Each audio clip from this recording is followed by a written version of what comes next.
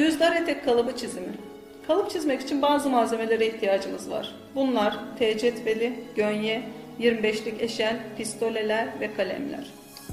Düzdar etek kalıbı çizmek için ölçülerimiz bel 70, kalça 94, kalça düşüklüğü 20, etek boyu 60 cm. Kalıp çizebilmek için öncelikle sağ tarafta T cetveli ve gönye yardımıyla bir dik çizgi çiziyoruz. Bu dik çizgi üzerinde bir nokta işaretliyoruz.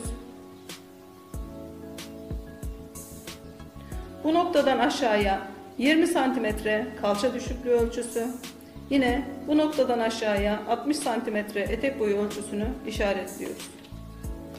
Daha sonra bu çizgileri T cetveli yardımıyla sol tarafa doğru uzatıyoruz.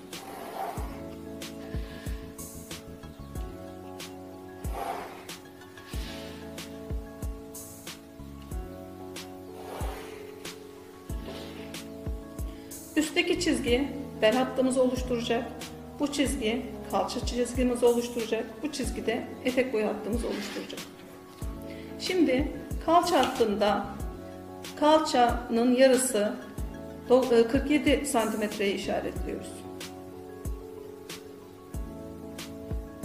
47 santimin yarısı 23,5 santim işaretliyoruz. Ve yine T cetveli ve gönye yardımıyla bu çizgileri dik olarak birleştiriyoruz.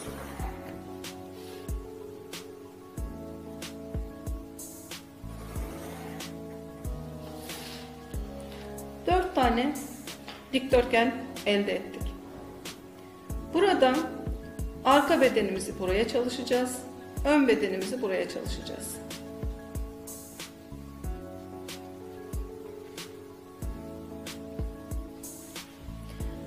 Karelerin dışındaki diğer çizgileri siliyoruz.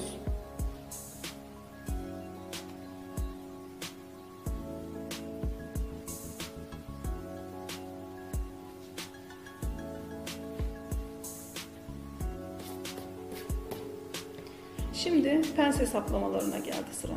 Pens hesaplaması yapabilmek için kalçanın yarısından belin yarısını çıkartmamız gerekiyor. Yani kalçanın yarısı 94'ün yarısı 47, belin yarısı 70'in yarısı 35, 47'den 35'i çıkarttığımızda 12 santimetre elde ediyoruz. Bu 12 santimetre bizim belde kullanacağımız pens payımız.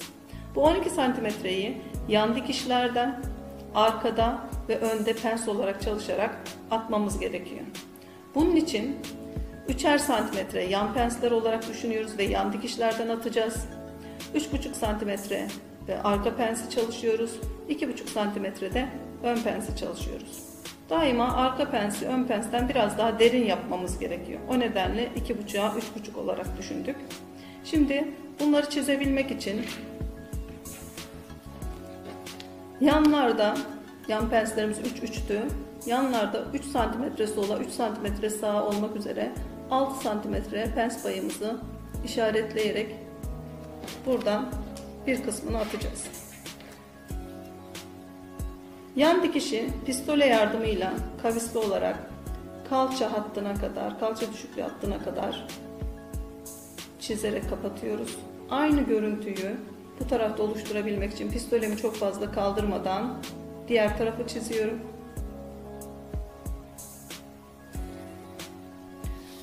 Şu an eteğin yan dikişlerini, çizgilerini tamamlamış oldum. Daha sonra etek belinde e, vücut hatlarına göre ön ve arka ortasına doğru biraz kavisli çizmem gerekiyor. Bu nedenle arkada ve ön ortasında birer santim kadar aşağıya inmem gerekiyor. Ve bu indiğim noktalara belimi kavisli olarak çizerek birleştiriyorum.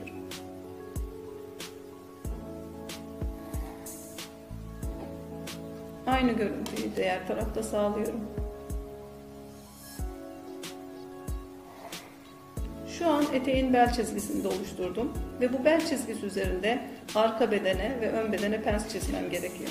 Arka beden ve ön bedende pensleri yapabilmek için arkada belin tam yarısına yani tam ortasına yerleştirmem gerekiyor pensi. Önde ise ön bedeni 3'e bölerek üçte birlik kısmına yani yan dikişe yakın olan kısma yerleştirmem gerekiyor. Bunları yapabilmek için arkada bel ölçümü ölçüyorum ve tam ortadan ikiye bölüyorum. Arkada bel ölçümü ölçüyorum ve üç parçaya ayırmam gerekiyor.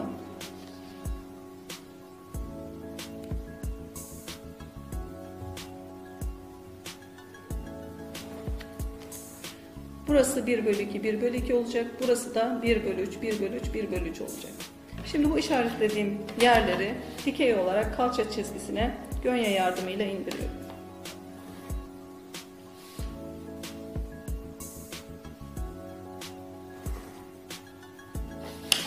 Pensleri çalışırken daima arka pens daha geniş ve daha uzun olması gerekiyor. Ön pens daha dar ve daha kısa olması gerekiyor. Bunun için arka pensin boyunu 14-15 santim gibi düşünüyorum. Ön pensin boyunu da 9-10 santim gibi düşünüyorum. Ve pens ölçülerimi yani önde 2,5 santimetreyi, arkada 3,5 santimetreyi bu çizgi üzerinde yarısını sağa yarısını sola gelecek şekilde işaretlemem lazım. Arkada 3,5 santimetrenin yarısı 1.75 1.75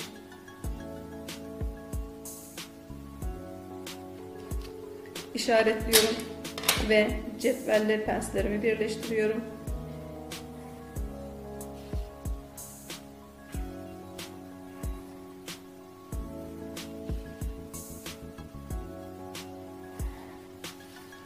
Arkada 2,5 santimetrenin yarısını 1.25 1.25 sağ ve sola işaretleyerek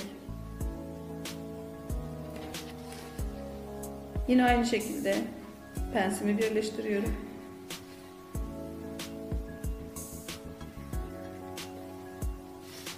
Ve arka beden ve ön bedenimi kalıbını tamamlamış oluyorum. Ön ve arka etek kalıbını arka ortasına ve ön ortasını yazarak belirtiyorum. Şimdi kemer kalıbını çizebilmek için altta yatayda T cetveliyle bir çizgi çekiyorum. Ve bu çizgi üzerinde eşelle bel ölçüm 70 santimetreyi ve üst üste kapanma payı olan 2 santimetreyi işaretliyorum.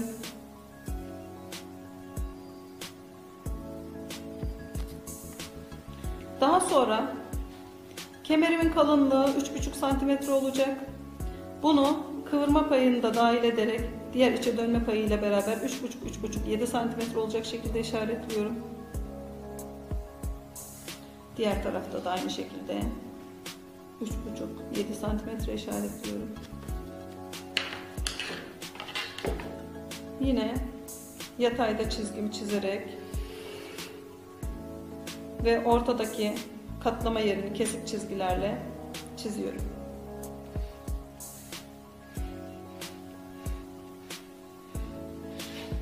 Gönye yardımıyla kemerimin iki kenarını dikeyde birleştirerek kapatıyorum.